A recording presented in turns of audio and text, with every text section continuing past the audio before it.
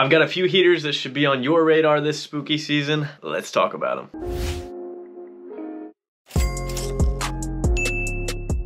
By the time this video drops, the Black Canvas 4s may have already released after we had one initial pushback. We had that first delay on those, but some people were still able to cop. Retail on those was $210. There's still gonna be a little bit of meat on the bone. I've seen those pairs selling for anywhere from 280 to around 300 bucks a piece. So if you cop those, it might have been a quick dub. The next drop I wanna mention is October 14th. Stay tuned for this. Keep your eyes on sneakers. It is rumored that the black and white dunk lows are going to be restocking. I know You could have never guessed that. It's not like they've ever restocked before. We've only seen them one time, right? And then they've never hit the shelves again. Kidding obviously. We've seen the black and white dunk lows restock, I don't know, maybe a dozen times already, and still there's a little bit of resale value on those. Pretty much every sneakerhead or every sneaker reseller has a pair of the black and white dunk lows in their collection. I don't know how many more they can produce. So we'll see if those roll out on the 14th. October 15th, we've got a couple good releases. This release date is not 100% confirmed, but And StockX have said that the Neckface Dunk Low is going to be releasing on the 15th. Neckface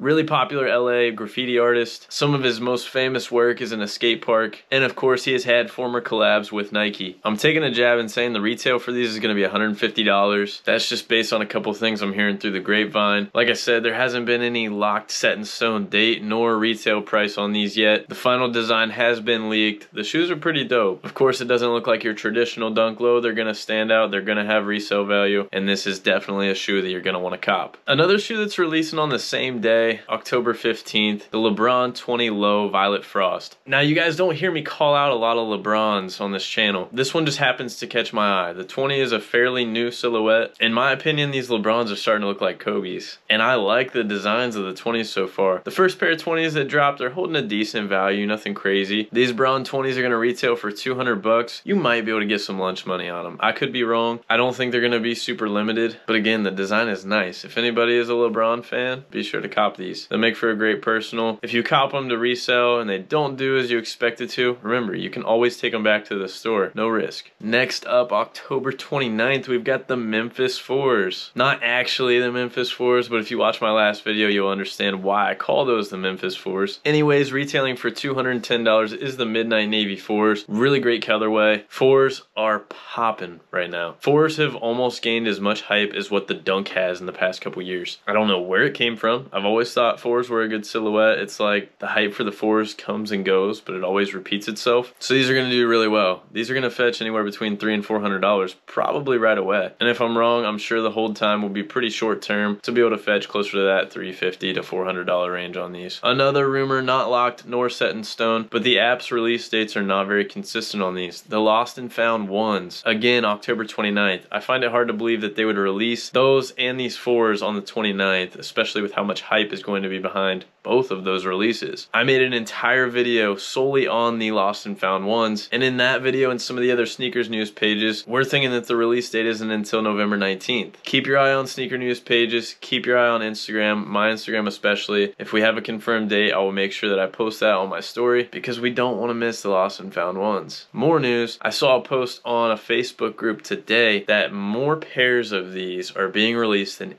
any pair of Air Jordan 1 OG High in history. Now, I've seen them say things like this before with some Holiday 11s and other retros in the past, and I don't think this changes anything. Sure, right out the gate, the value might not be as high as what we thought it was going to be, just because of rumors like these. People are going to think that the market's going to be flooded right off the rip. I'm not buying it yet. I think that's a quick post to try and push people away from copying one of the best silhouettes of this entire year, and I'm still gassed to the floor on these. I remember a year or two ago, this also happened with a pair of Yeezys. I can't remember exactly which colorway. People said more of those were going to be produced in a restock than they did in the original release, and it just didn't happen. Just a big lie to try and push resellers away from copping the shoes. So don't fall for all of the news unless you have a really good source. That's pretty much it. Yes, we have some other releases, some retros, and some other kicks that are releasing this month, but you know, I'll pop them up, but it's just brick, brick, brick, and I don't see a lot of value in any of these sneakers. The market's weird right now, so I'm sticking to my guns, and that's what I plugged y'all with. If you have any questions on October's releases, drop those in the comments below. Hit me up on IG. The handle is the same at all AB sneakers. As always, I appreciate you guys for watching. I appreciate the support. If you haven't already, make sure you subscribe, turn those notifications on. Don't miss my next video.